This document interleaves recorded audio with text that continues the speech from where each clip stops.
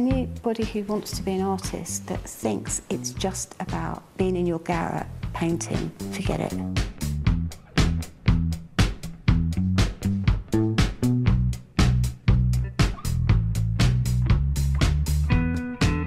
My life is considerably different now, radically different. Sometimes like, I've got some paintings that I've done when I've been young, younger, like quite sexual, and I find it just a bit embarrassing.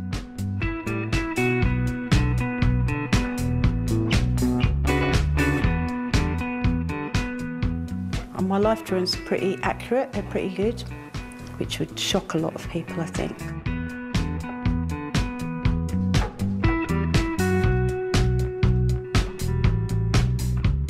This, this room is wrong. This is wrong. I, I really don't like this mm. at all. I either need another one here, or I just need three, or I take one out. I want to take Egon Schiele out of Vienna from 1900 to 1918, and I want to take Tracey Emin out of London from 1990 to 2000. Not that I don't really belong in that decade, but I need to move on. My work needs to breathe, and I need to feel a lot more freer.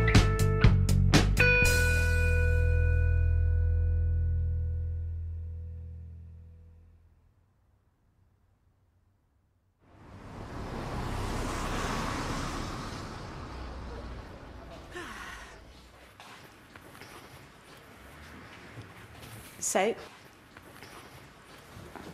this is my painting outfit. Sadly, it's not as glamorous as it used to be when I was younger, but um, it does the job. And I'm not like other painters. I tend to use this really awful plastic palettes and then just build the paint up and build it up. Or else I use these plates. I never use a real palette. Or um, I don't take it that seriously, really. And now, very excitingly, I've got this new colour called Mars Black. And I used to paint in oil paint all the time, and then I had a kind of like mm, total breakdown, serious, serious breakdown when I was younger. And after that, I couldn't use oil paint anymore because the smell reminded me too much of the things that distressed me. So then when I started painting again, I used acrylic. And acrylic, If you've always painted in oil, acrylic is actually really, really difficult to paint with. Because with acrylic, once it goes on, that's it. You can't take it off. But now there's a new, new acrylic paint which it stays wet, which sometimes I buy by accident and it does my head in. I would really like to start working on a series of new new drawings, a couple drawings that are kind of slightly different, and I'm going to do it with gouache. And what I do is I collect these little Edwardian erotic photographs that are original. And I use them as my inspiration, just for the body shape or the form. But it, it, that's not the people that I'm painting. The people that I'm painting actually live in my head somewhere.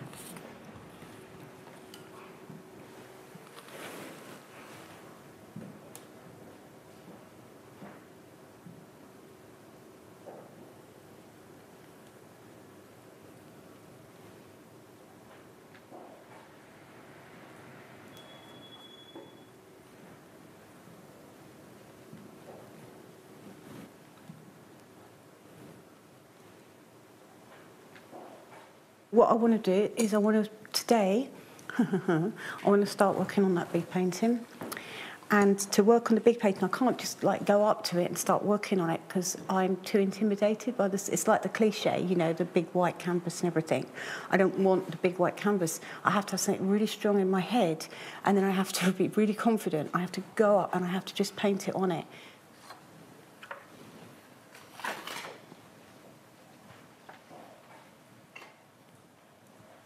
It's quite stiff, that one. That's why I want the other image to work from, so, it's, so I'm more free with it.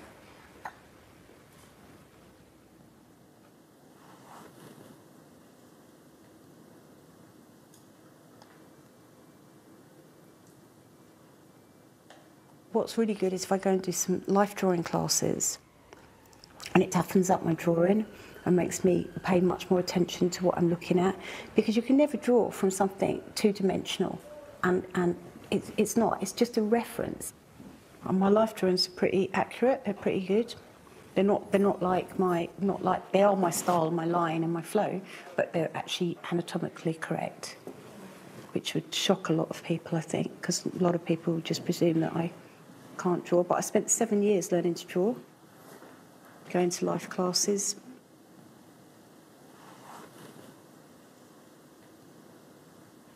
And if anybody's really learnt to draw from scratch and they didn't know what they were looking at and they didn't and they learn, they learn the rules and they learn for everything from foreshortening, know, chiaroscuro, shadowing, everything. And then you suddenly learn to do it. You find the language. It's incredible. It's only then you can break it down.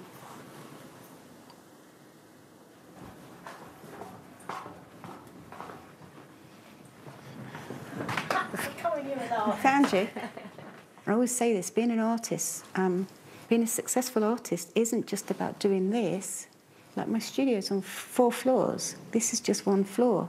You know, half my studio is, is um, um, you know, computers and offices and other people working for me. And anybody who wants to be an artist that thinks it's just about being in your garret painting, forget it. It, it, it it's never going to work for you. You have to also have your head screwed on and be together because otherwise no one's going to know you're there. That's another thing. Yeah. Next week, Ema and I will go to Hong Kong because I have um, a double show in Hong Kong in 2016 during uh, Hong Kong Art Basel. So we're going to Hong Kong to sort all this out in advance. And also, then after that, we fly to Korea because I'm having a show with Kukje Gallery in, in Seoul, and it's one of the most um, formidable, serious galleries in the world uh, that's been going for a very, very long time. And Korea is extremely serious when it comes to contemporary art and modern art. So it's really amazing to be showing with them, and they're going to rep- they'll be representing me. So I'll be working with a new gallery. So that's a really important visit after Hong Kong. And then Ema comes back, and then I stay in Sydney and I do some talks and some lectures, and I go and visit um, Melbourne Museum in Melbourne that's interested in showing me. So it's pretty full on. That takes us to the middle of March. Sometimes I, I get up in the morning and I just think, oh yeah, I just want to, just really want to just paint today. And I come in a little bit early and I'm kind of like really happy. And I've totally forgotten that I've got a meeting with the accountants, which is really important. And it's really dry and really horrible, and I really have to pay attention. And it's the last thing I want to do. And it, it almost, it's almost like it's killing me physically killing me because I want to be doing this. And, and, I, and I think also that's you know, a reason why I, I could never have children because I think, you know, obviously being a mum would be pretty amazing, but I don't think I'd be able to, I'm, I think I'd be maybe not a very good mum or too good a mum and not do, and then, then and this all dies and then I die and then I'd be resentful and horrible person. And I realise as I get older that this is it. This is, this is what I have. This is me. So there's no halfway house.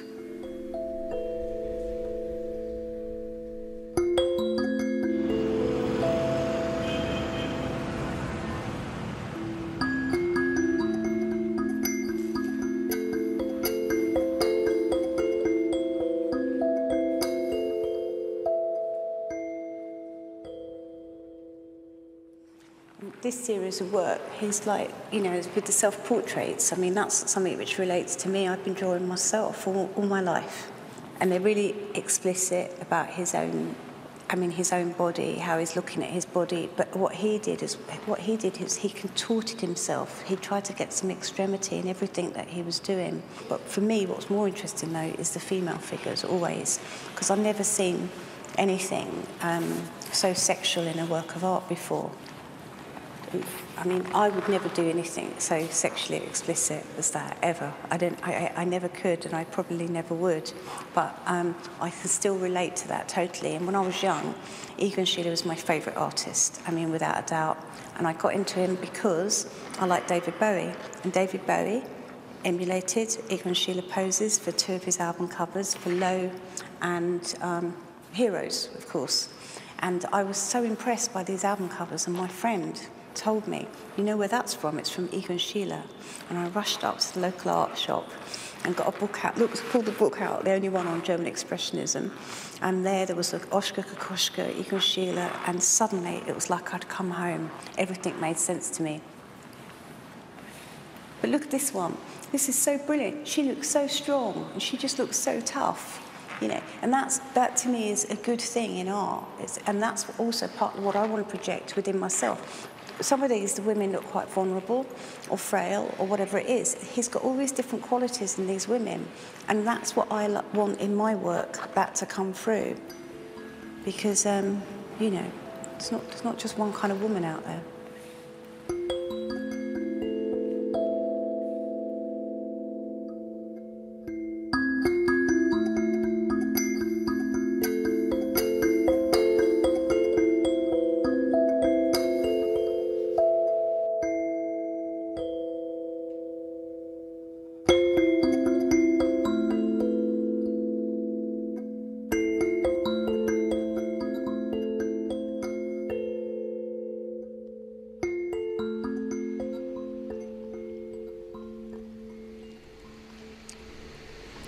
Trying to pluck up the courage to start the big painting.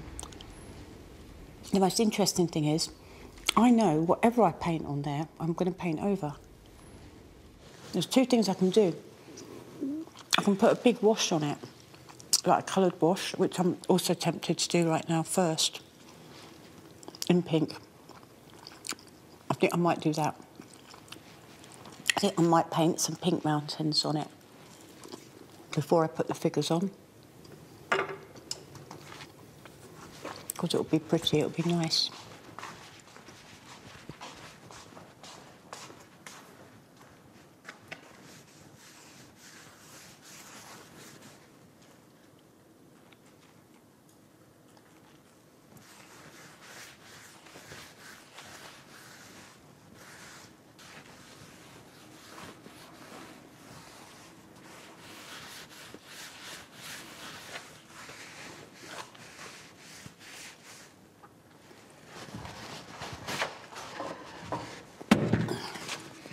See, the other thing about painting is if you're not feeling very strong or very tough, or you're not feeling very robust, you can't do it. I like it sometimes if I've been drinking and I pick them up and I kind of swing them around the room or whatever. And I've usually got music on playing very loud. It's dangerous, very dangerous.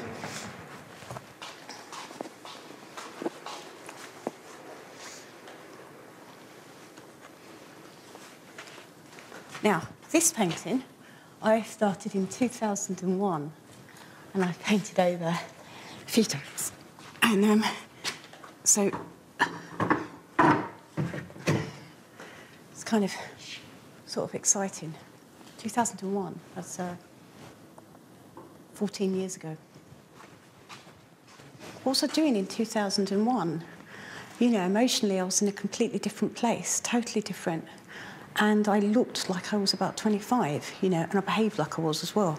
It, my life is considerably different now, radically different. You know, I still go, I still go crazy now on things, but um, it's a different sort of craziness. I think now I go a bit stir crazy because I feel a bit trapped somehow within my own making, of course. I'm not complaining that much about it. I'm just saying that I know my life is radically different from how it was then. I was young then. I'm not young now.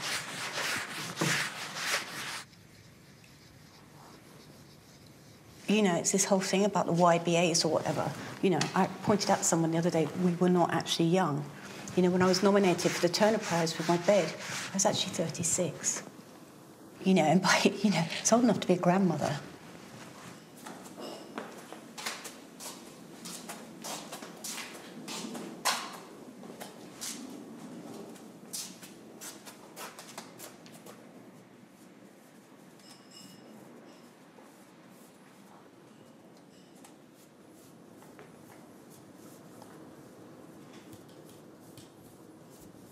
Originally, this was a figure with wings flying. A bit over the top, a bit over romantic even for me. But I liked the idea that the wings were there, and I like the idea that the, that this will end up being like, look, this will be end up like mountains, look, with snow now.